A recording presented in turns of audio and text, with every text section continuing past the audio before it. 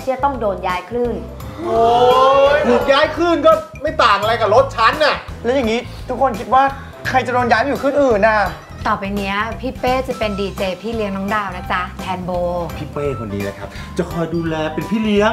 สอนน้องดาว train กับมือเลย รับรองว่าแป๊บเดียวนะ เป็นดีเจเอทับชัวร์ผมก็ว่านะ คนที่โดนย้ายอะต้องเป็นคนที่เรตติ้งน้อยที่สุดแน่กูจ้างมึง 500 มึงช่วยเปิดวิทยุฟังกูจัดรายการเดี๋ยวนี้เลย ๆทุกคนที่กูอ้อนตอนนี้เปิดวิทยุฟังพวกเราหมดแล้วเว้ยรับรองว่าเรตติ้งช่วงเราเนี่ยจะไม่น้อยที่สุดอย่างแน่นอน แกเตรียมเปิดวิทยุฟังช่วงฉันเลยนะนางตาย เดี๋ยวฉันจะซื้อน้ำหอมจากฝรั่งเศสไปฝากถ้าเราเปิดวิทยุหลายๆเครื่องแบบเนี้ยเรตติ้งของเราจะพุ่งกระฉูด เราจะไม่โดนย้ายคลื่น สรุปนะ